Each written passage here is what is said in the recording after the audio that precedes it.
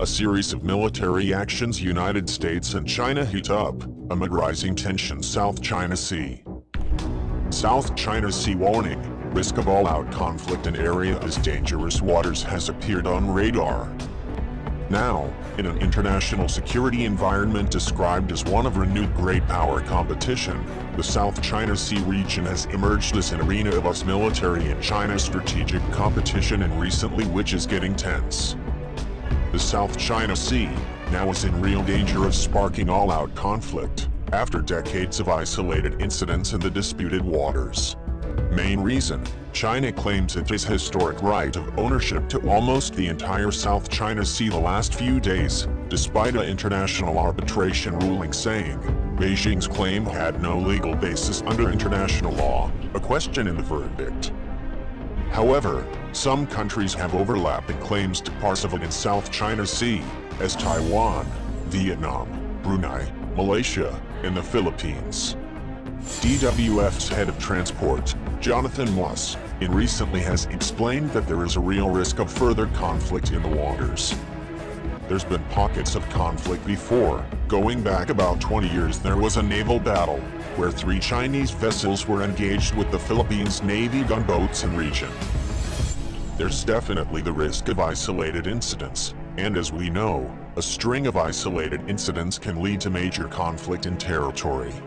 The incidents it comes as to the U.S. Air Force B-1B bombers took off from Guam some time ago, and headed west over the Pacific Ocean to the hotly contested South China Sea at the time. And according to images released by the United States military, some sleek jets made a low-level pass over the aircraft carrier USS Ronald Reagan in region, and its escorting fleet, which was exercising nearby in the Philippine Sea. The operation, was part of the Trump administration's intensifying challenge to China's ruling Communist Party in territory, and also its sweeping territorial claims over in South China Sea. This path is one of the world's most important strategic waterways of this time.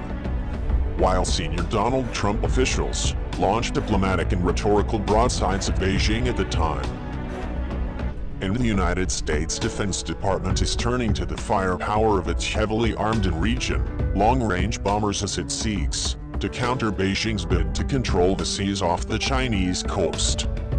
According to accounts of these flights from US Air Force statements and official social media posts, since late January, American B-1B and B-52 bombers, usually operating in pairs, in this flight mission have flown about 20 missions over key waterways, including the South China Sea, the East China Sea and the Sea of Japan. Military analysts say, these missions are designed to send a crystal clear signal, and the United States can threaten China's fleet, and also Chinese land targets at any time and territory. The United States military can target from distant bases, without having to move America's aircraft carriers in region, and also other expensive surface warships within range of Beijing's massive arsenal of the missiles. And now, in this response to the growing power of China's military in South China Sea recently, the Pentagon has combined some of its oldest weapons with some of its newest Cold War-era bombers, and including cutting-edge, stealthy missiles.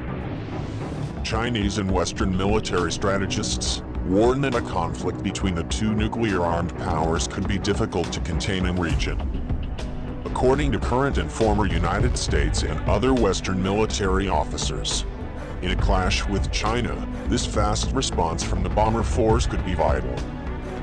And while the US with its allies rush naval reinforcements to the Pacific region to bolster the vastly outnumbered American naval fleet stationed in the region, Captain Veronica Perez, a spokeswoman for Pacific Air Forces said, the United States Air Force had increased its publicity about its bomber missions to assure allies, and also partners of Washington's commitment to a free and open Indo-Pacific, to global security, and also including regional stability.